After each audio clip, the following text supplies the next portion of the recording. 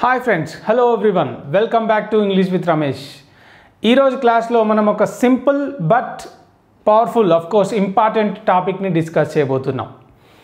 అయితే ఏంటి ఆ టాపిక్ అనేది చూస్తే కనుక ఏదైనా ఒక పని చేయడం మొదలు పెట్టాను అంటే ఇంగ్లీష్లో ఎట్లా చెప్పాలి?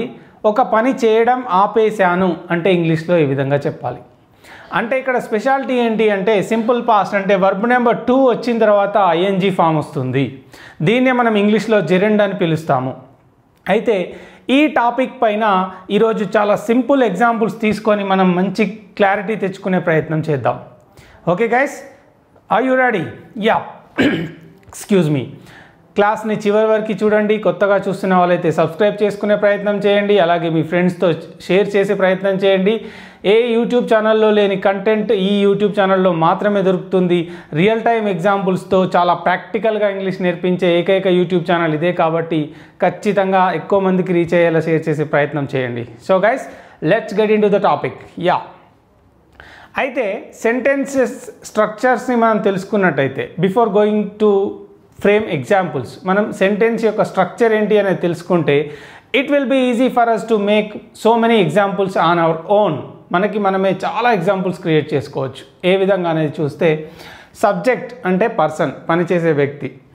ఇక్కడ started verb verb number two అంటే సింపుల్ పాస్ట్ అనుకోవచ్చు. స్టార్టెడ్ ఓకే తర్వాత వర్బ్ నెంబర్ ఫోర్ వస్తుంది. జిరండ్ అని పిలుస్తాం మనము దీన్ని. జిరండ్ అని చెప్పుకోవాలి. ఇంగ్లీష్లో జిరండ్ అని పిలుస్తాం. తర్వాత ఆబ్జెక్ట్ వస్తుంది. ద సేమ్ స్ట్రక్చర్ ఇక్కడ సబ్జెక్ట్ తర్వాత స్టాప్డ్ వస్తుంది వర్బ్ నెంబర్ టూ తర్వాత.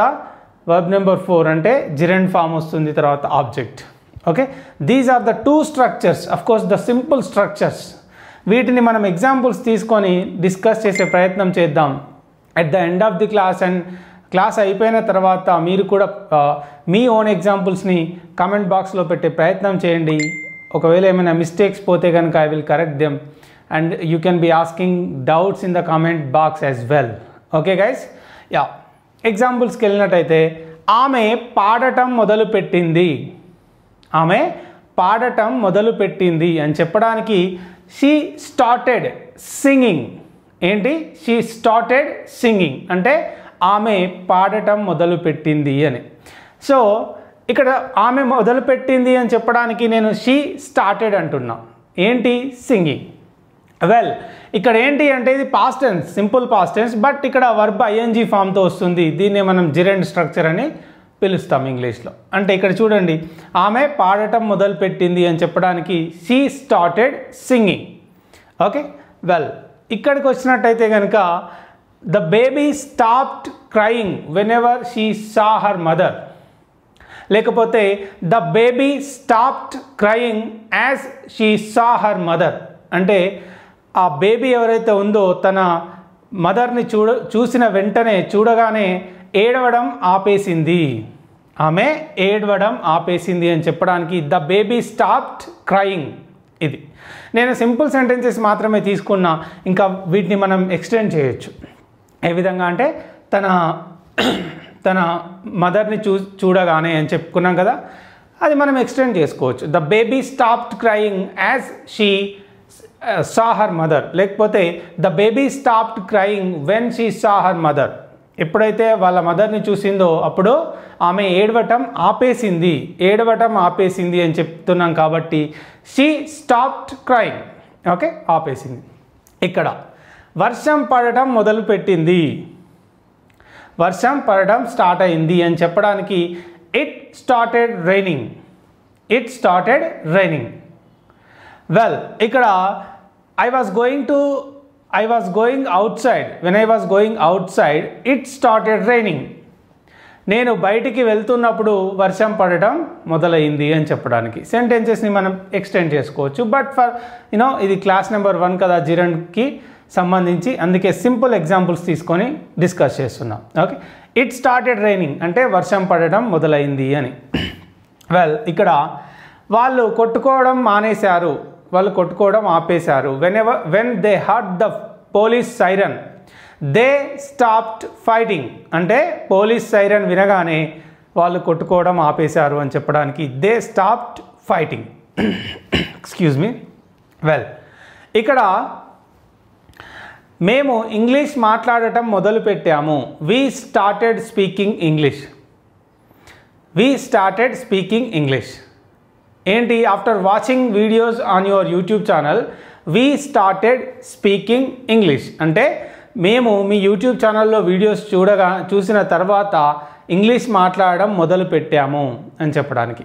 We started speaking English started తర్వాత అన్ని వర్బ్ ఫామ్స్ చూసినట్టయితే జిరండ్ అంటే ఐఎన్జి ఫామ్తోనే వస్తాయి. అది అబ్జర్వ్ చేయండి. Okay we started speaking English ఈ విధంగా. అలాగే మీరు చెప్తారు ఇంకా మేము ప్రాక్టీస్ చేయడం మొదలు పెట్టాము అంటే we started practising we started practising okay ఇట్లా.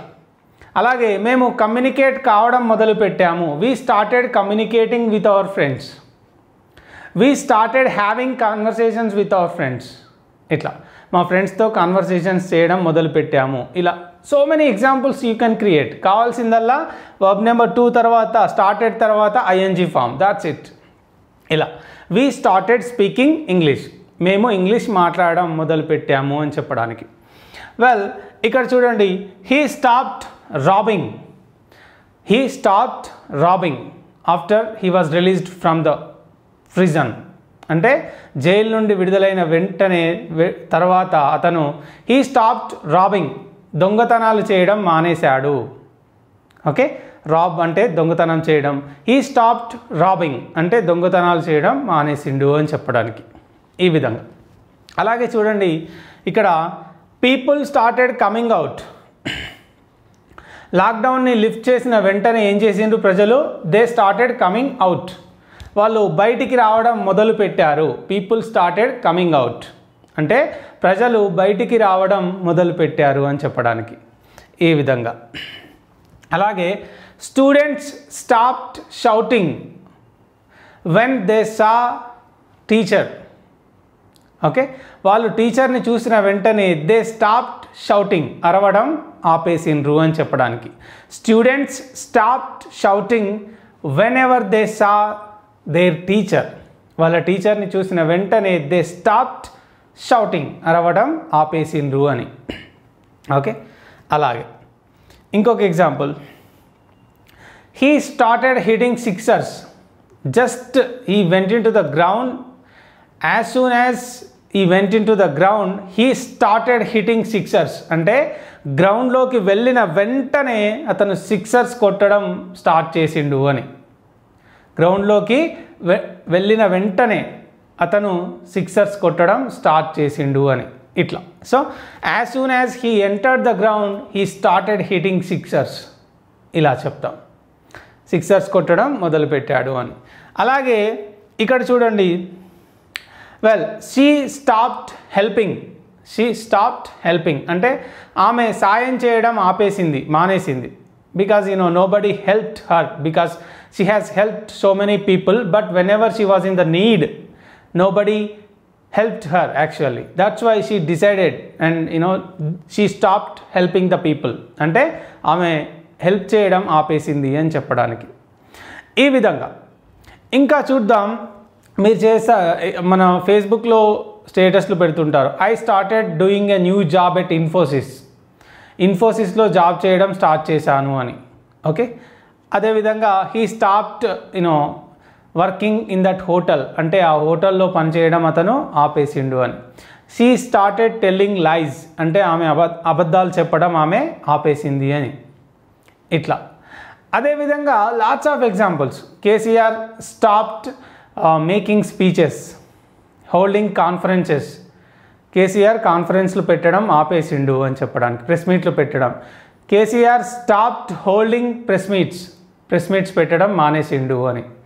సో ఇలా lots of examples you can create on your own she started asking doubts అంటే ఆమె డౌట్స్ అడగడం మొదలుపెట్టింది ఐ స్టార్టెడ్ బ్రౌజింగ్ ఇంటర్నెట్ నేను ఇంటర్నెట్ బ్రౌజ్ చేయడం స్టార్ట్ చేశాను.